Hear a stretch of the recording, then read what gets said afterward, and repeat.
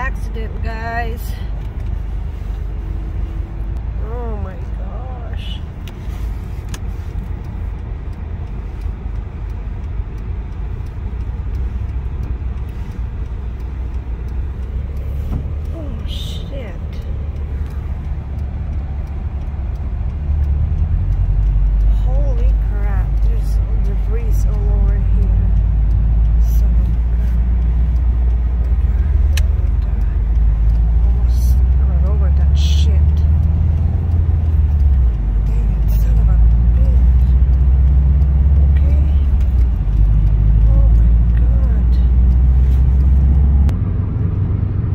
guys, that accident is it's it just happened, guys.